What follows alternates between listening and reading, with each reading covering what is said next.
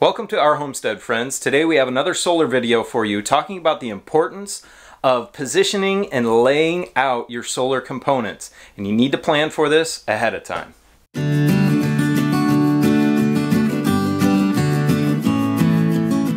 We're also going to be walking through how to make some of the initial connections between each component a lot of your components have clearances that are associated with them, necessary clearances for proper operation. The Growatts need 20 inches above and below and 8 inches on each side. And things like our SolarEdge midpoint transformer here has clearances also associated with it. And those are important to adhere to. So we really had to plan out how things were going to set up in our solar room here ahead of time. Additionally, when it comes to running wires for everything, like this PV disconnect box, you need to understand where your PV needs to come in from the outside, where it's going to poke through your wall, and everything like that. So it's good to draw out a plan of the space you have available so everything fits properly. We're also going to be making some of the initial connections to the components because it's important where you run your wiring. And you can see an example of that. We've got some one inch conduit running around the top of the room right here and over just past the light it's poking up into our attic and running back to our main panel. So the first thing we did was attach this concrete backer board to the wall. Now the Growatt inverters recommend it and I think it's good to have it just as a safety uh, barrier. It's not flammable. Uh, safety barrier between your drywall and uh, your inverters or other equipment. So we've got that up on the wall. We've got some lag screws in studs and it's really secure. Head down in the description below and click on the link to Signature Solar, which is where we got all of our solar components, like the SolarEdge midpoint transformer. Signature Solar is great with helping DIYers through the process of putting together their own solar systems. Now I've made some initial marks on the wall here measuring for the proper clearances and I'm just going to mark where I need to put my first holes to hold the Growatt, then I'll level everything out.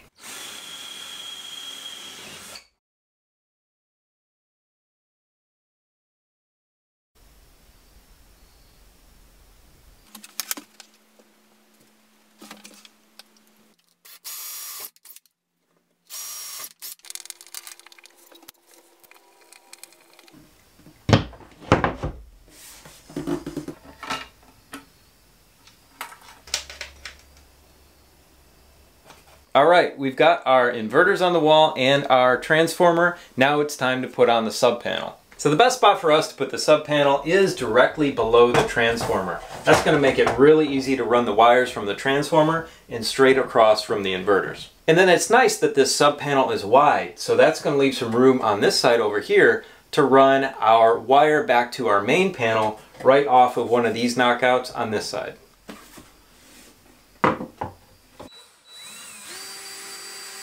So we've got everything up on the wall in its proper position with the proper clearances and a good orientation to one another so that it's easy to hook up the wiring. So we put our PV disconnect switch here in the house.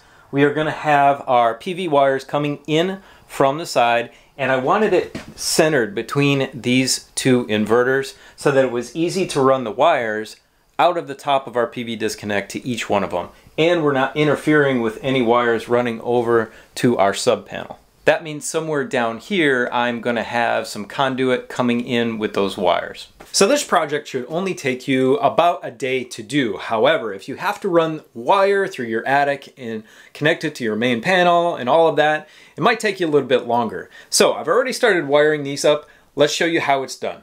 So for our knife switch, you do not need a fused knife switch. This one is fused, so it'll need fuses in it. No big deal. That's all we could find, so that's what we had to get. Also for our conduit, we're using this flexible conduit, which is actually really nice to work with. It is I think three quarter inch, and I will be able to just get uh, all the wires that we need through that. So you might need to go a little bit more if you don't want to kind of squeeze them through there, but it should be fine. Make it work the way uh, is easiest for you and with what you have available. So we've got all of our conductors here. Our black and red are going to attach to the top of the knife switch, and then we're going to clip them. We're going to bring them through here. They're going to attach to the bottom. Our neutral is going to go over here on this side, and we're going to ground uh, our bare grounds, our naked grounds to this box. So you don't really need the knife switch, it's just an added extra barrier of safety because we do have that interlock kit on the main panel. So from our knife switch, or safety switch as they're called, to our sub panel, we've got our four conductors. We've got our ground, which is going to come over here to the side. We've got our neutral, the white one, here to the top of this bar, and then our two hots, because it's 240, and we're going to put them on either one of these lugs on either side, so red and black. And at the end, when everything's hooked up, I'll go over it again just to make sure it's very clear. So from our transformer, our balancing transformer here, we've got our neutral in here in this blue, and we've got line one and line two. I still need to run those. We've got our green, which is our uh, ground. So it's got a grounding lug on the end of it, or a, a lug, and it's run down here into the box. This white will go to the neutral bar on the side. The green will run down to one of our grounding bars, either on this side or this side, it really doesn't matter. And over here we've got our red and our black, two line one and line two on each one of our inverters. Now, it's super important to keep all the line ones, line ones, all the line twos, line twos. Line one goes into the top part of the breaker, line two into the bottom. Make sure they're all the exact same. We're gonna run line one to the top of the breaker, line two to the bottom. Next one, same thing. And with the transformer, same exact thing. So you can see in our breaker panel, we have got our breakers. And when you have one on either side like this, you need to keep them, uh, the poles the same on each breaker. So some boxes are flipped so that line one would be on top on this side and line one would be on the bottom on that side. It just depends on how it's designed. This is a, a square D box and they're the same. So if I plug this breaker in on this side and this one in on this side, they both contact the top on their line one and the line two is on the bottom.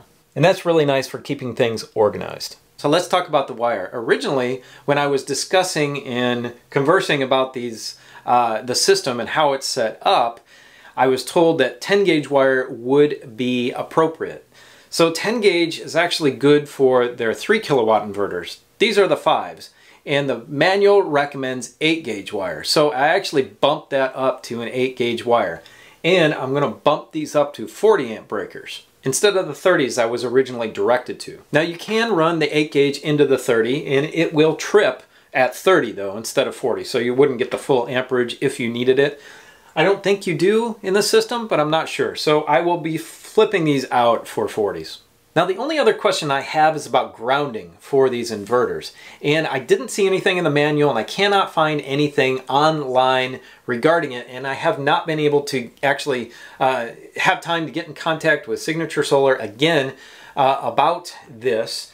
It's got a space for a ground and so I think I'm going to ground it. I'm going to ground each inverter into the sub panel. The only person that I've seen do that is Will Prouse, and he uses the extension cord um, in your or in his AC out to power things off. I think he's got the 3K, uh, the smaller inverter. Regardless, I'm going to ground them just to be safe. And if someone knows better, or if I can get a hold of Signature Solar, then we'll answer that question definitively for you. So you can see I've already put the fittings on the sub panel and that's just easier to do because I don't want to take everything off the wall. When I do put the conduit on later uh, and knock out and everything, put everything back together, that's kind of silly. So just put them in now, it's much easier. And I want to get everything up and running before I stick conduit on everything. So these Growatts are nice. They come with these protectors for each hole. You can put a conduit connection here and that's what I'm going to do uh, in the future when I do connect the conduit. But these will protect it from the wires from getting cut. So we've got our AC uh, input here in the front and our AC output here at the back. And what we're just going to do is come up into the terminal, pretty easy, insert it in, and then screw it into place, making sure that it's nice and snug and it doesn't come out. So the only thing I don't like about these Growatts so far is that this wiring harness here in front is strained. I really had to push it back to get the wires in uh, in the uh, AC output here in the back. And this one could be a little bit longer because it is a little, there's a tiny bit of play in it, but not much. So just remember, now we've got our ground, our line, and our neutral as labeled on here, but this is line one and line two. Remember that. Line one, line two. Line one's red, line two, I put the black. You can do whatever color here you want, but just keep everything consistent so you don't get a short circuit.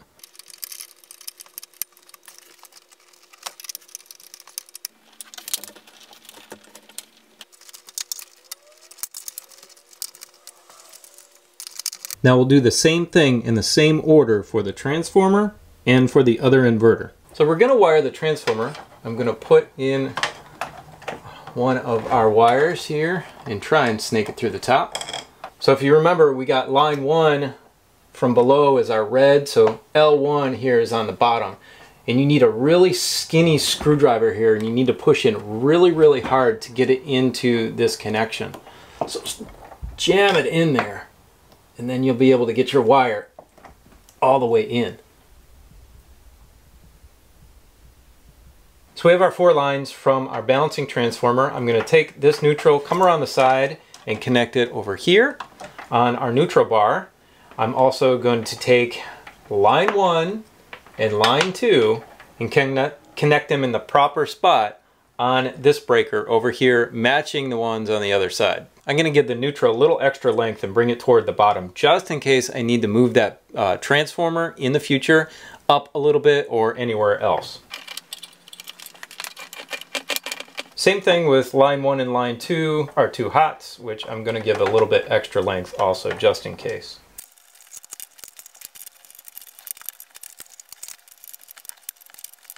So now I'm going to run our 6-3 wire, our big wire, back to our main box We've got our line one and line two, keeping them the same as everything else in the entire system. I've got the neutral going on here. I've got my ground here. So we're just gonna put this neutral in. I'm gonna snake it up through and keep all of our big power wires in the back. Make it all nice and neat and organized. You can see each wire coming in from each component of the system. It's all organized and in order.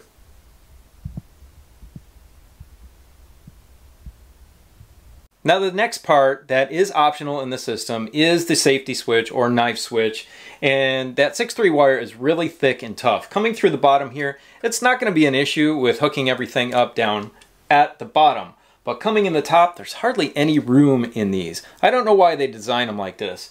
That's going to be a lot of blood, sweat, and tears probably to get over to each of these terminals with each uh, hot wire. I'm not going to put you through that pain on camera. Just remember, keep everything consistent. Your neutrals are gonna go down here, your grounds here, and your two hot wires here, and then the same two hot wires up here at the top, and you're good to go. So this is our main panel. This is our generator interlock kit. It comes here and connects with our main power switch coming in from the house, our main breaker. This is the 200 amp service, and it will sit down here. This slides across mechanically, so you cannot have one on over the other. This position is where our 70 amp breaker is going to go. I'm going to move this one out of here. It's for something we don't use. I'm going to move this double pole out of here. Our 70 amp double pole is going to go here. A friend's going to wire this in for me. He's an electrician, uh, something I'm not comfortable with working in a live main panel, so he's going to take care of it for me. So just switching that running the, I already ran the Romex, that 6.3 through the roof. So that's going to come down here. Our interlock kit's going to get put on, and that's how the system is going to work. So in the future, I'm going to worry about automatic transfer switches and AC input into these, but that's for a different day. And the nice thing about these Growatts is you don't need to have AC input, but it gives you the option, which is a really nice feature. So you notice we don't have our PV wires coming into the house yet, and that is because we haven't had our phone line surveyed and our internet line surveyed, so I can't dig the trench to bring those PV wires over to the house and bring them in.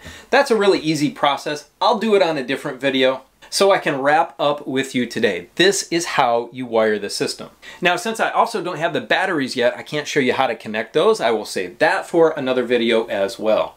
And along with hooking up the PV wires, I will show you how to do the communications to stack these two because they aren't connected yet either, but I'm gonna wait to get that power in here. But this is the basic wiring setup to get this thing working. And additionally, in the near future, we will show y'all how to program these. So we have a lot of information for you here on the channel and a lot of upcoming information. Now go click on this video right here, which tells you how much each component in our solar system costs.